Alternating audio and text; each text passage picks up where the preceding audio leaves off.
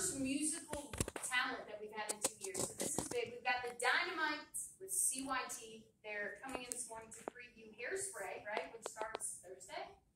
That is exciting. Let's talk a little bit about it. So first and foremost, uh, what made you guys want to get into Hairspray? Do you do other things with CYT? How does that work? Do you try out? Tell me everything.